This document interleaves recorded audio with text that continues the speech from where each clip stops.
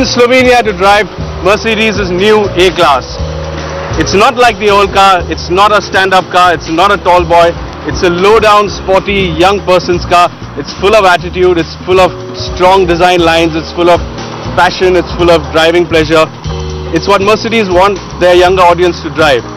Cars that are fun, cars that are beautifully built, but also cars that give you a big smile on your face. Let's see how good the new car is. As you can see from the profile, it's low, it's sporty, it's got a really big nose, some very aggressive detailing. Look at that big head arm, look at the big inlet for the brakes. It's really, really aggressive. And as you go to the back, you can see this is not a very practical sort of body. That's what Mercedes are going to use for the B-Class. This is lower, sportier, younger, nice tight back. And overall, this is a car you'd love to pose with. It's a great car to be seen in. It's a young person's car. It's not a practical family car. That much is clear.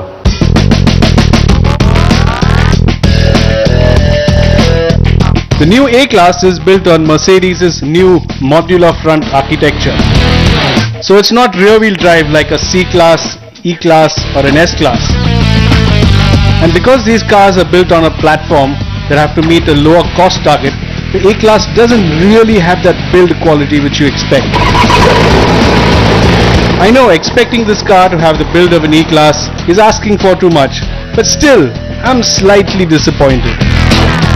And there's no doubt this car does feel robustly screwed together and it's easily tougher than something like an Audi.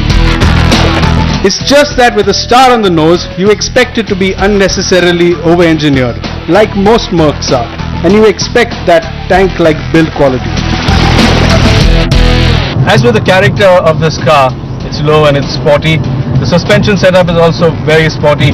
It's got fantastic straight line stability. You can just hold on to speeds as high as 200 without having to bother. It feels like a big car, something like an E-Class, as stable as that. And that gives you a lot of confidence. The big challenge for Mercedes on this car was extracting maximum agility from this transverse engine front wheel drive platform. The earlier A and B class were not driver's cars by any stretch of imagination. And for the new A class to succeed, driver appeal was considered essential. So Merc did it the old fashioned way. They poured money into solid engineering. The rear suspension, for example, looks as complex and as detailed as something on an E-Class. The chassis feels incredibly stiff. And initial impressions are so good, there's almost a sense of disbelief. Can this car really be this good? As you can see, the stability of this car is just first rate. It feels as stable and as well planted as something like an E-Class or a C-Class. And that's really a big surprise in a car of this size. Remember, this is a transverse engine front wheel drive car and Mercedes has done a stellar job to give you this sort of planted stance and this sort of stability. To complement the character of this car, this particular car is set up a little stiffer than normal. So you feel a few of the bumps, you feel a bit of the pitter patter, you feel the expansion joints, the car moves around a bit, but it's not uncomfortable, it's quite nice and once Mercedes gets the car to India, they will raise the suspension and soften it a bit for our terrible roads. This may be Mercedes' entry car, the A-Class, but they haven't spared any expense or effort. Just look at the interior. It's beautifully done, it's designed with a lot of flair. There's a luxury touch to it and a lot of the materials feel just as good as on the bigger cars. Quality and fit and finish on the inside are well up to Merc standards.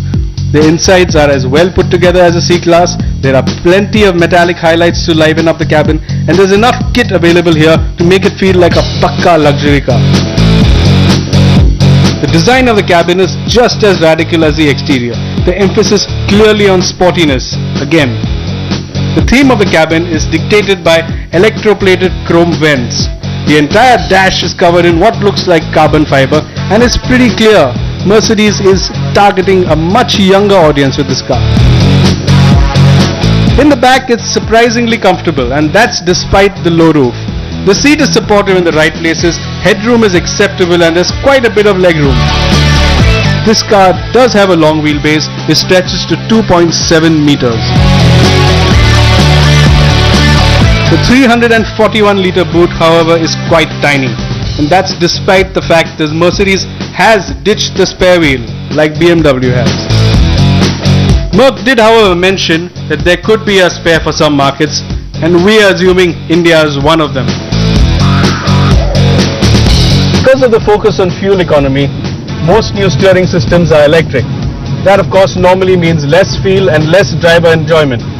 But not in this case. Even though this is an electric steering system, there's a lot of feel to it, there's a lot of effort that's gone into designing it well and it's really come out pretty nicely. You can't tell it's an electric unless you really pay attention. You don't miss having the feel of a hydraulic system and that's really nice.